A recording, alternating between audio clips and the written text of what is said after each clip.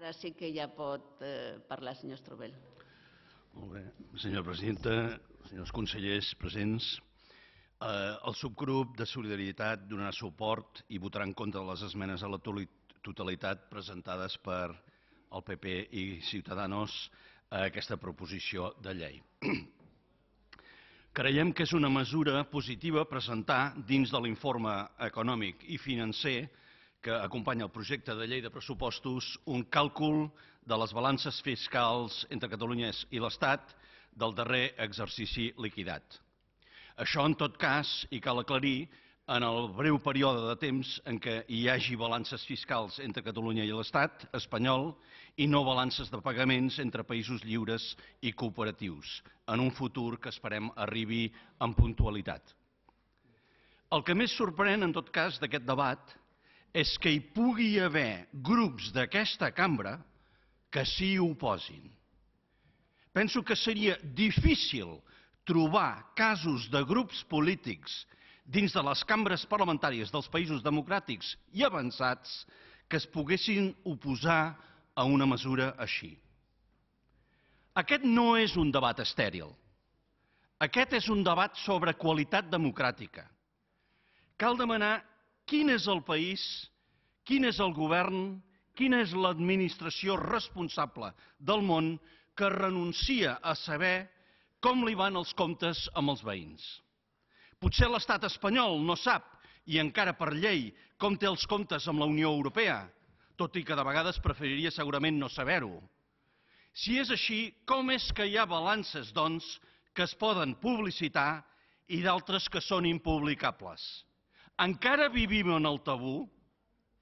La diputada socialista abans, molt correctament, eh, diu que les balances fiscals no ho expliquen tot, i és cert, però déu nhi les coses que expliquen, expliquen moltes coses.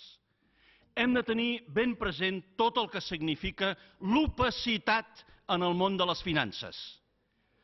És el que ens ha portat a la crisi que patim actualment. L'opacitat ha obrat magníficament en favor dels especuladors i dels corruptes.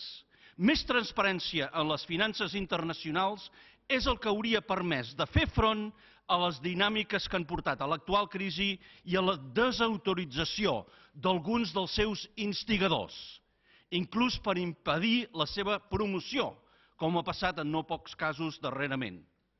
Per això crida l'atenció que partits d'aquesta cambra es puguin oposar a la publicitació de les balances entre Catalunya i Espanya.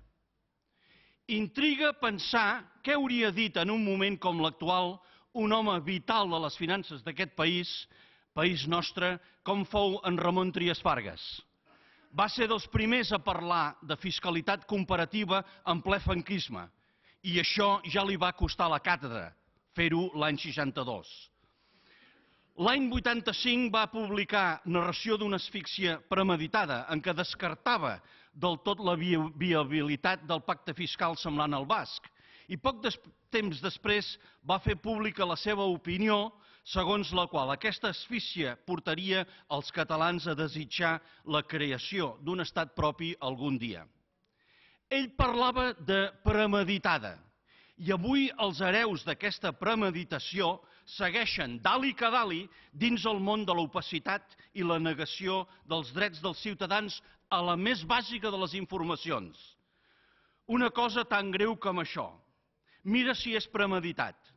Forma part d'altres conductes polítiques que porten a tractar el poble català com si no fos madur, perquè fer-ho porta rèdits, és evident.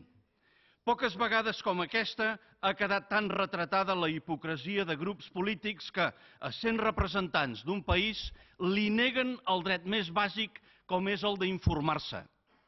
Estàvem acostumats que els senyors del PP i de Ciudadanos ens neguessin el dret a decidir, el dret a gaudir d'un idioma i una cultura en condicions de competir, el dret a, a, de comptar amb la plenitud d'un estatut que aquesta cambra ha votat, però ja ultrapassa tots els registres que un poble se li negui saber quan rep i quan paga i calcular la diferència. Una diferència que en el nostre cas, curiosament, dona un dèficit de 20.000 milions de pessetes i a sobre sense compensació d'ordinalitat ni competitivitat en molts casos.